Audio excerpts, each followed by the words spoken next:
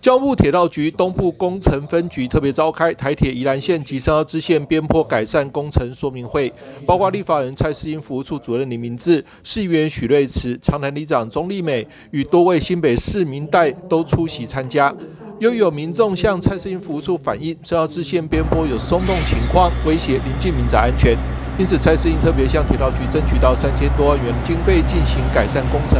目前已经规划在民国一百一十三年三月动工，工期约十一个月。之前有民众向蔡世英委员反映，我们深澳支线那边的边坡那有松动滑动的问题，那会担心影响到周边居民的安全。那委员有跟台铁这边请托，那也成功的争取到三千多万的预算，由台铁委托铁道局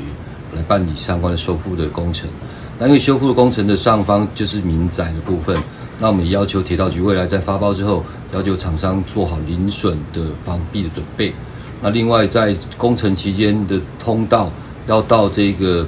八斗子车站的通道，基本上也需要透过交通的指引，让民众呢可以走到那边去，然后能够一样享受那样子的美景。那希望这个都这个案子在明年的三月开工，工期为十一个月。那我们希望赶快能如期如实的完成，那让民众可以享受更好的服务品质。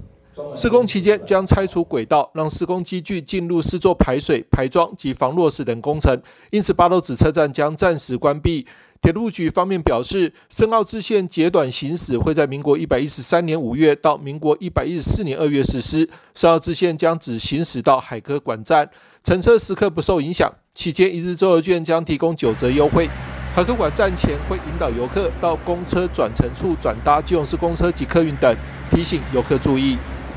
记者张启腾，记勇报道。